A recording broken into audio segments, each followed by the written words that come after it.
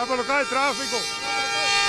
La potenza del clacson dei trattori rappresenta la rabbia dei tanti agricoltori che questa mattina sono arrivati a Padova da tutto il Veneto, anche da fuori regione, Udine, Mantova e Piacenza, dalle 8.30 del mattino fino alle 13, quando l'ultimo convoglio di oltre 250 trattori ha fatto il suo ingresso nel parcheggio dello Stadio Uganeo.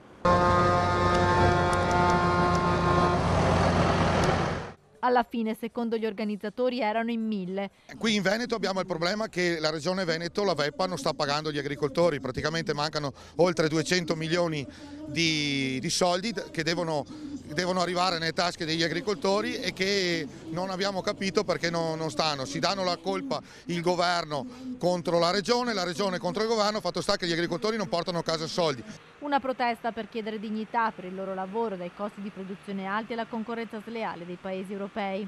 Stiamo già organizzando, vogliamo fare una protesta nei pressi di Vancimuglio, eh, zona Gresignano, Vicenza Est. Lì è un luogo simbolo di quella dove è partito tutta la, la, disgregazione del settore agricolo, la rovina del nostro settore. Quindi dopo 27 anni non è cambiato nulla, ma anzi le cose sono peggiorate. Quindi vogliamo ritornare lì.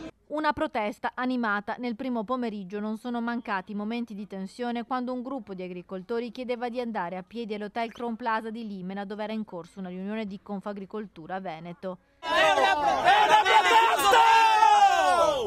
Ho detto così che possiamo andare. Facciamo gruppi da 10 va bene.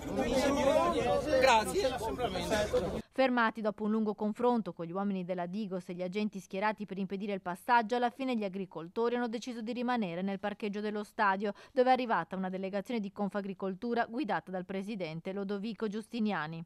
Quella d'Italia! Bravo! Tu! Veneto!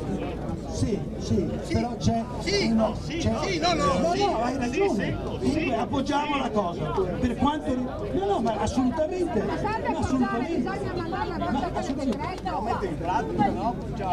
Il confronto sul palco è stato animato, ma alla fine la giornata si conclude con i trattori che si rimettono in marcia per tornare a casa pronti per manifestare ancora.